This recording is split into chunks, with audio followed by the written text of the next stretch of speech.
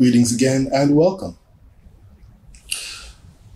One theme that will be recurring in your exploration of the good things about Japan is the legacy of the warrior. But in Japan, it's not just the warrior who fights his outward enemies to achieve some worldly end, you see. In Japan, the samurai must also fight inward enemies. And in fact, it is the inner struggle that is included in the philosophy of the warrior class, an art that's considered a martial art known as now jujitsu. Now, the interesting thing about jujitsu is that unlike the Western style, where there's good and evil, and the hero is good, and the villain is evil, and the hero vanquishes the evil villain, jujitsu is based off of a philosophy where there must be loving compassion toward even the enemy. That is to say, that not only does jujitsu use the momentum of one's attack to subdue the enemy, but then it also takes the extra step of caring to make sure that if there's any injury encountered during that battle, that that is also healed. Very shortly, you will witness the mastery of Masters Okuyama-san and Master Joe Miller. These are two masters of the Hakkoryu school of Jiu-Jitsu. We will visit their dojo and we will be instructed by them just how they employ this philosophy, which I like to look at as fighting with patience.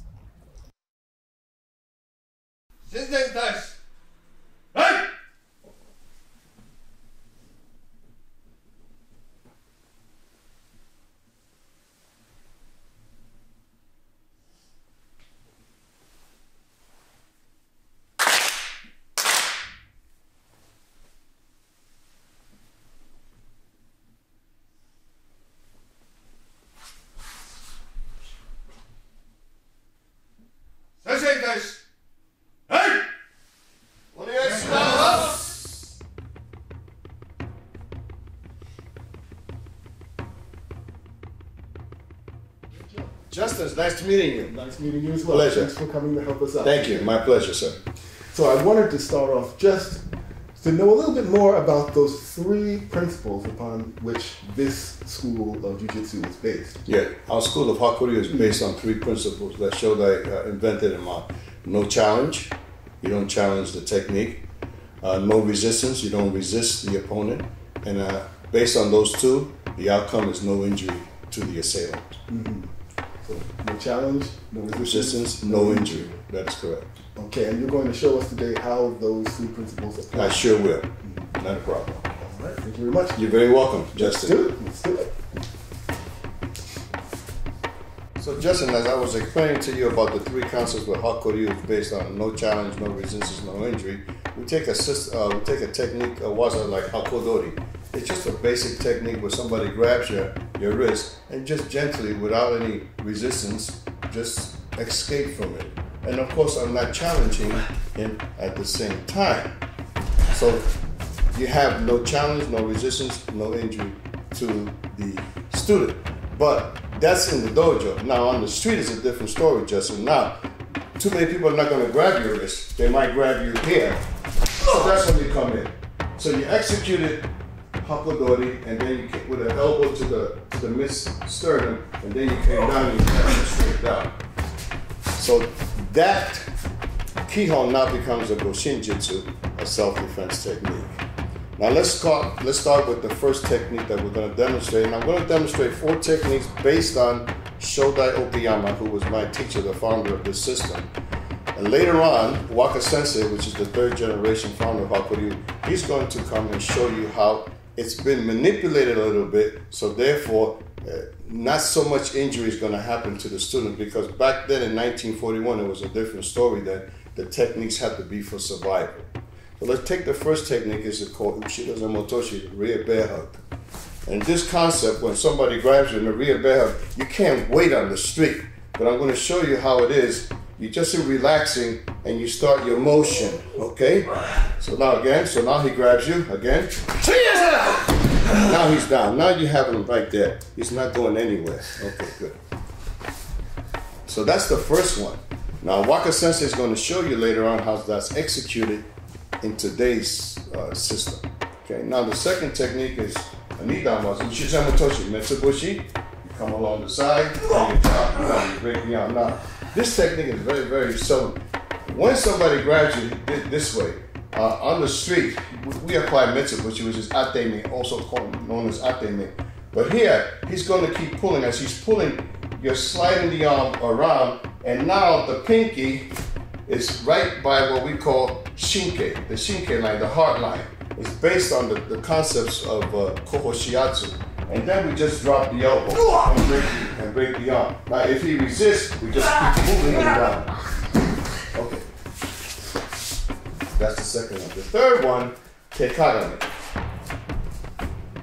Up, down, and now we're going to apply the gakun to the heart meridian. So, now in this sequence, this technique is actually done in Seiga now okay? And it's done basically this way. And that's it. But in the old days, it was based on cutting and then double cutting. So much danger to the body. Okay. And the last one, the young one, is Yoko Minuchi do the roundhouse punch. Rocking and bringing it down and then applying the lock. Yeah.